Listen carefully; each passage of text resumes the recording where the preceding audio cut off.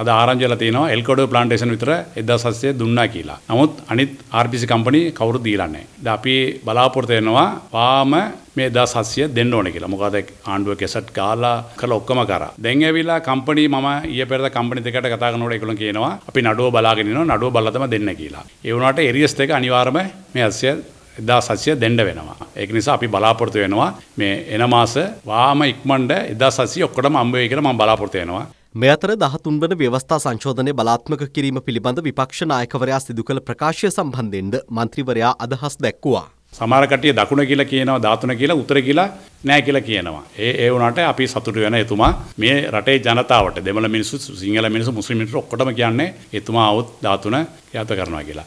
අපි දෙම්මම ඒක වෙලා තියෙන්නේ. එතර තියෙන පොඩි තියෙන පොලිස් බලය පොලිස් බලය සාකච්ඡා කරලා කරන්න පුළුවන්. ඒ පොලිස් බලය උතුරට විතර නෙවෙයි දකුණට තියෙනවා. පළාත් සභාව මෙතෙවරණ තියලා අනිවාර්යයෙන් මේ 13 ක්‍රියාත්මක කරලා ඒ ජනතාවට ඉඩ දෙන්න ඕනේ. ඒක බය වෙන්න දෙයක් නැවිලා.